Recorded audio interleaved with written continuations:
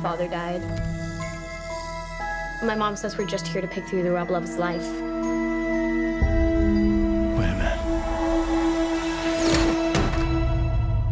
Who are you?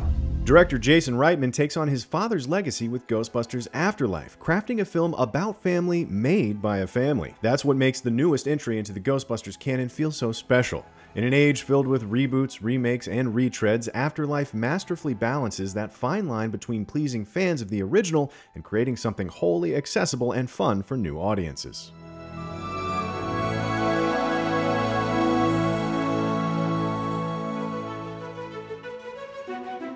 The story follows a single mother, Callie, played by Carrie Coon.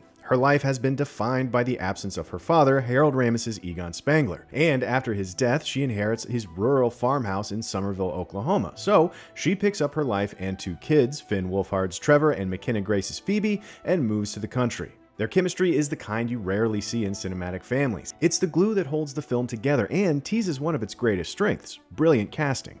Coon is her usual electric self as a harried mother of two, and Wolfhard shrugs off Stranger Things with an older and more assured classic Big Brother role. But Grace outshines them both. This is her movie. Phoebe is funny, weird, and unabashedly herself, and Grace is almost unnaturally watchable. There's no attempt to recreate her on screen grandfather's mannerisms. Instead, Phoebe is her own brand of nerd, and she's wonderful. This is very much a film about this young girl finding herself through an unexpected connection with her family. So it's important that Grace carries that weight well. That doesn't mean this is some melodramatic family drama, though. Reitman and co writer Gil Kenan have crafted a cheeky, witty, well paced, and heartfelt script that constantly delights. It has a gunner seat? Another one of its strengths is the tight knit cast full of talented actors. Bokeem Woodbine shows up as the local sheriff, and Paul Rudd is at his Paul Ruddiest, and yes, that's a very good thing, as Gary Grooberson, the local summer school teacher. There are a few other unexpected new faces too, but we won't spoil those surprises. The real heart of the cast is the new young crew. Phoebe quickly befriends a kid named Podcast, played by Logan Kim, who's a total breakout. A hilariously nuanced yet well played role, the keen child podcaster is a joy to watch, and Kim proves himself as a new comedic talent. Joining them is Trevor's crush, Celeste O'Connor's Lucky. Nicely dispelling the older mean girl trope, Lucky is an adventurous, quick witted, and generous friend who the crew desperately needs. Amid all the family and friend dynamics, it's clear something is up from the moment we enter Summerville. Make no mistake, this is a Ghostbusters movie through and through, so there are supernatural shenanigans galore, and those spooky scares look good. A lot of the effects are practical rather than computer animated, which is an electrifying choice and fits well with the sun drenched, nostalgic summer look.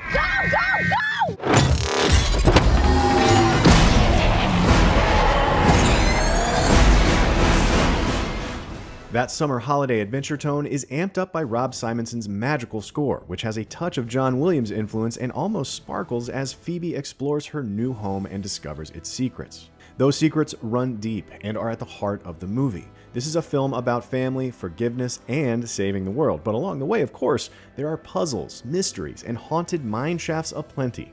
In this way, Afterlife harkens back to the age of the Goonies, but with a thoroughly modern twist. As the burgeoning ghost hunters try to save their town and themselves, there are enough Easter eggs to make a grown man cry. But those who've never watched a Ghostbusters movie are still in for a very fun ride, filled with cool creature work and awesome action. Afterlife's riotous third act will not only have audiences crying, but also likely arguing about a couple of key moments. Still, it's all entirely earned. And make sure you stay for those post credit scenes.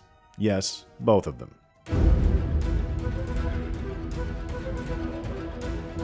Director Jason Reitman does his father and fans proud with a funny, sweet, and spooky family movie that wonderfully takes on the legacy of Ghostbusters while also introducing something exciting and new. It helps that McKenna Grace is the kind of talent that only comes around once in a generation. Charming, authentic, and the beating heart of this already heartfelt movie. So get ready to fall in love with the Ghostbusters all over again. For more, check out our reviews of Venom, Let There Be Carnage, and The Harder They Fall. And for everything else, stick with IGN.